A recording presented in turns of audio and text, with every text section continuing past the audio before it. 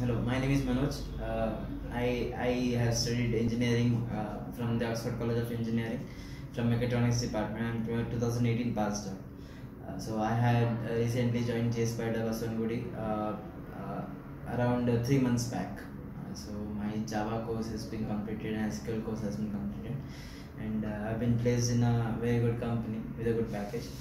So I would like to thank uh, all the faculties over here and HR team. HR team is very supportive over here, and faculties, especially Madhu sir, Rohan sir, Hemant sir, are very good in uh, their knowledge and they teach us very well. Uh, they teach us in depth uh, about the subject, about the concepts, and they uh, make us, you know, uh, capable enough to crack any any MNC or any company's interviews.